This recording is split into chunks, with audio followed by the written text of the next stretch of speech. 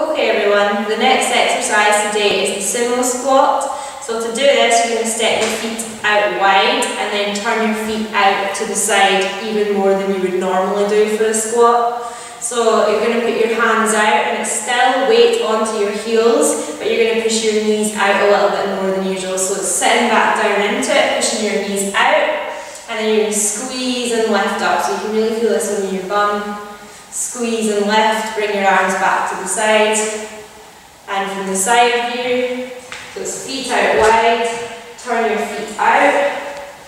Hands out, you're squatting down, so your back's flat, coming down as low as you can comfortably go, and then coming back up.